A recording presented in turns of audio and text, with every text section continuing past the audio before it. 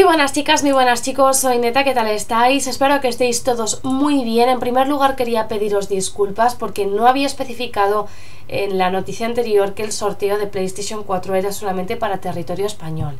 Perdonadme, bajo en la descripción, es decir, en el vídeo respuesta, tenéis un vídeo en el cual sortean una PlayStation 4, es decir, sortean la primera PlayStation 4 si eh, ayudas a, Play, a Sony a desenvolver un poquito cuáles serían tus necesidades en PlayStation 4. Lo tenéis en la descripción y podréis participar clicando en más eh, descripción, en el enlace de la, eh, tendréis un enlace en la descripción de ese vídeo y podréis acceder a la encuesta. Hoy os vengo a traer una noticia referente a Xbox One y a PlayStation 4 y es que siempre estamos hablando de los diseños. Pero realmente no nos fijamos en lo más importante a la hora de jugar, que al fin y al cabo es el mando. Eh, cada uno tiene sus gustos. Unos piensan que el mando de Play es más ergonómico porque ha estado jugando con ese mando desde un, principio.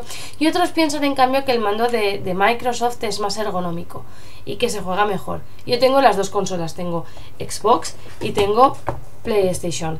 Decir que eh, se juega muy bien con los dos mandos, pero desde que probé este mando, o sea, desde que probé el mando de Xbox, yo juego muchísimo mejor con este. Es muchísimo más ergonómico, se adapta muy bien, muy bien a la mano. Es mi humilde opinión.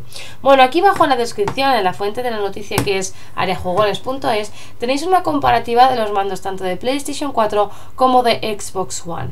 Eh, la verdad es que también hacen comparativas con los mandos de Xbox 360, Xbox One, PlayStation 3, PlayStation 4 y Xbox One, PlayStation 4. Te salen eh, la comparativa de ambos mandos.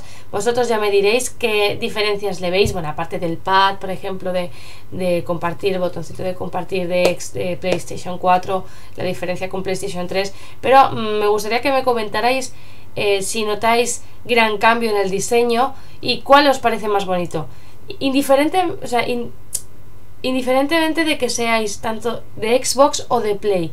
Decidme cuál de las dos os parece más bonita. Así que nada chicos, espero que os haya interesado la noticia. No olvidéis participar en el sorteo de PlayStation 4 solamente para España. Un besito a todos y nos vemos en otro vídeo más de este canal. Hasta la próxima.